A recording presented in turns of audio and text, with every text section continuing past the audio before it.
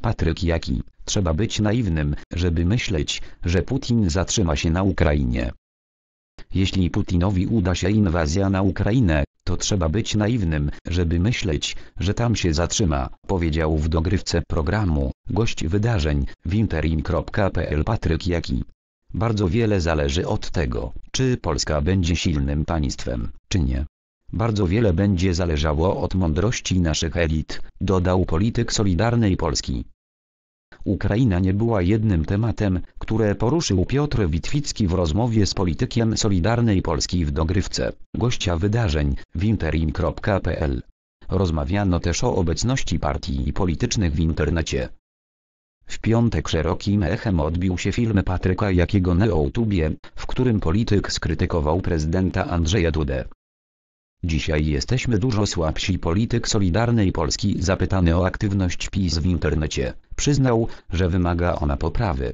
Byliśmy dobrzy w 2015 roku, dzisiaj jesteśmy dużo słabsi, stwierdził Jaki. Musimy popracować nad budowaniem kanałów internetowych. Potrzebna jest mobilizacja naszych liderów. Akurat Solidarna Polska, którą reprezentuję, wygląda tutaj całkiem nieźle. Natomiast jeśli chodzi o cały obóz Zjednoczonej Prawicy to jest gorzej, powiedział. Przyznał jednak, że nie jest łatwo odrobić zasięgi w internecie. To jest codzienna ciężka praca, podkreślił.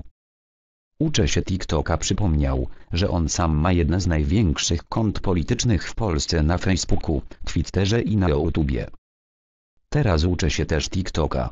Dzisiaj, jeśli ktoś nie chce przegapić momentu, to bez TikToka nie da rady. Dane i statystyki pokazują, że jest to najsilniej rosnąca platforma. TikTok prześcignął już wszystkie media społecznościowe, dodał. Przypomniał, że Konfederacja, która jest o wiele mniejsza partią, świetnie radzi sobie w internecie. Chodzi o to, żeby politycy naszego obozu wiedzieli, że to jest część ich codziennej pracy żeby wrzucić jakiś ciekawy kontent, żeby nawiązać interakcję z ludźmi, wyjaśnił. Ale to wymaga czas i pracy, dodał. Putin nie zatrzyma się na Ukrainie w dalszej części rozmowy Patryk Jaki odniósł się do tematu wiszącego w powietrzu konfliktu na linii Ukraina-Rosja.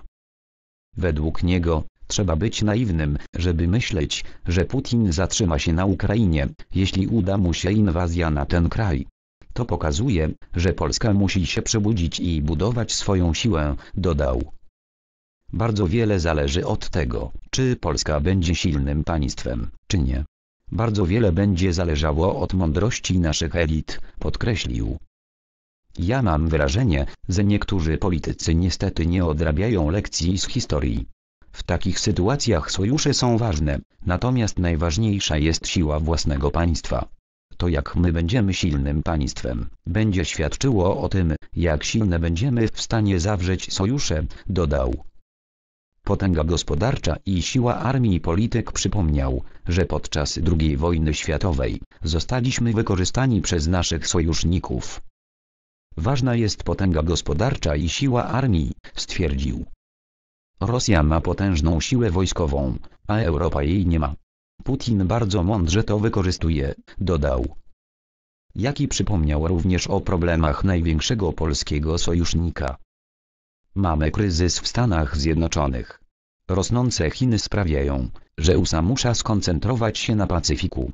USA przeżywają również kryzys fatalnych decyzji ostatnich lat, gdzie zainwestowali ogromne pieniądze w Iraku i Afganistanie, a one zostały przepalone. W tym czasie Chiny się zbroiły i rosły w siłę, powiedział.